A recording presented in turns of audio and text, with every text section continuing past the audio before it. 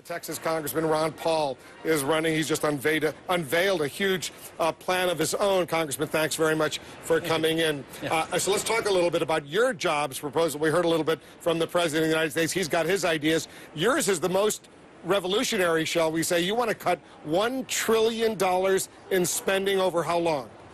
Over three years. But the first year is one trillion balanced budget in three years. So cut a trillion the first year. The first year, and, and you want to do that by eliminating one, two, three, four, five uh, cabinet positions, right? Right. The problem we have is I think the radicals have been in charge. The people who believe in spending and deficits don't matter and we can be any place in the world and you can print up money forever. And they've been doing this for about 40 years. So this is an inevitable problem that we have today. And yet I think the country people are waking up.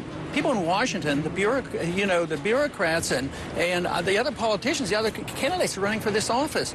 I think I think they're living in a different world. Because your plan is pretty radical. Let's take a look at this. You would cut, and correct me if I'm wrong, the Department of Energy, 100,000 jobs right there. Department of Education, 4,200 jobs. Department of Commerce, 38,000 jobs. Department of Interior, 70,000 jobs. Department of Housing and Urban Development, 9,000 jobs. That's 221,000 government jobs you would seek to eliminate Yeah, over three years. But they're non they're non-productive, so they go back. They're, they're non-productive. Productive. They're not pr- productive jobs. You a have lot of to- these jobs, these people who work in these jobs, they think they're really pretty productive. Yeah, I know, but when government spends your money, they don't spend it as wisely as you do. You spend it more diligently and smartly, and investments are much better. So governments aren't smart enough Because, to for do example, that. the Department of Energy, all of uh, America's nuclear power is related to the Department of Energy. What are you going to do with Why- the, why- America's nuclear arsenal? Why, why subsidize anybody? Why subsidize nuclear over solar? I mean, let the market So would you just get rid of the nuclear bombs that the United States has?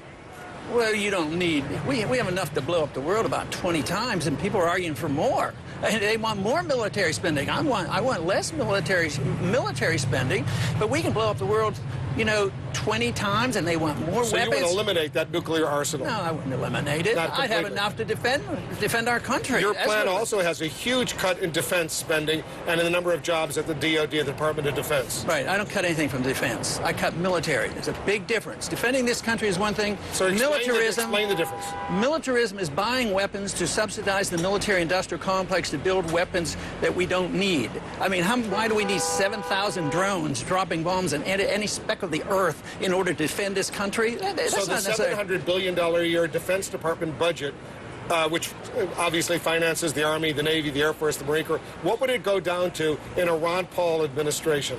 Well, over a period of time, drastically lower. But the first year, it's I think goes down 200 billion dollars down to 200 500 billion in the yeah, first year alone. Yeah. Uh, be- because it, it doesn't really help us. It, it harms us by doing this. And uh, we we need a stronger national defense, not a weaker one. Just spending money do- doesn't necessarily help I us. suspect that when it comes to this issue, defense spending, you're further apart from your fellow Republican candidates than you are from the Democrats. Yeah, but I'm closer to the people and I'm closer to the military. I get more money from the military, active military duty, twice as much as all the other Republican candidates put together. The military people know exactly what I'm talking about. They know these wars aren't going well and that we shouldn't be there. We, we literally, in the last 10 years, have added $4 trillion of our debt because of this around the world. Because I remember you and Barney Frank have actually uh, cooperated in seeking to cut defense spending. Yes, and I think uh, I think the American people know this. Uh, I think they're tired of paying for Germany's, Germany's defense, Japan and South Korea. I mean, what's the purpose? So is this going to resonate in a Republican presidential contest? Because right now, uh, you're, you're trying to get the Republican presidential nomination. You go out there, uh, are Republican voters in Iowa, New Hampshire, and Florida, South Carolina, are they going to listen to you? So far, so good. I think it's doing very well, and I think they, when they hear the truth, they know they're hearing the truth. And I, I really think the people are way ahead of the politicians. I've believed this for many, many years, and that's why you have to have Tea Party movements and, and sit-ins on Wall Street because the people are annoyed with this. They know these bailouts and expending cannot last. We cannot continue to do this. Our national debt goes up $4 billion a day. I mean, where are we going to attack? I think the easiest place to attack is overseas. All the foreign aid and all the militarism. So you bring not? all the foreign aid to zero.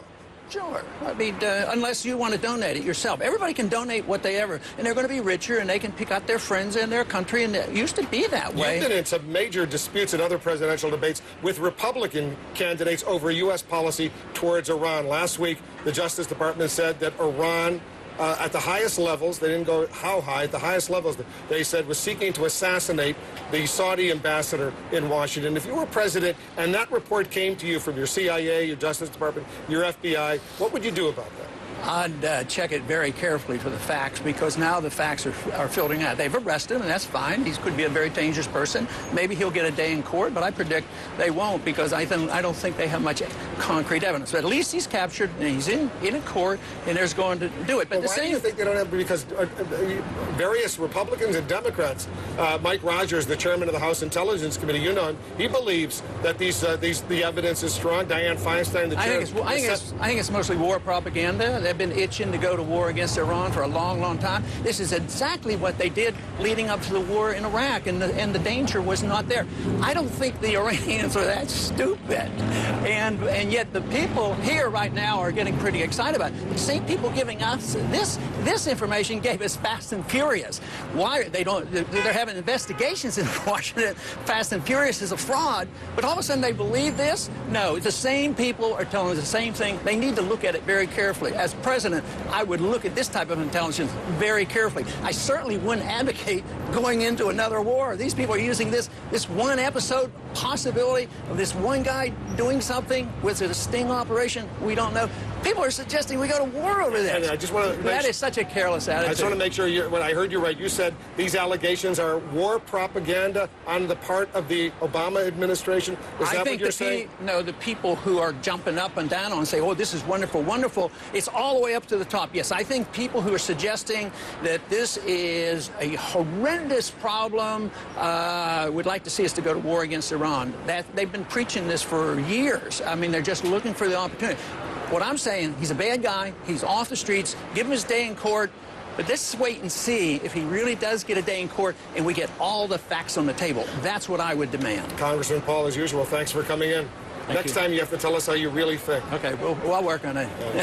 Good work. Thanks very much.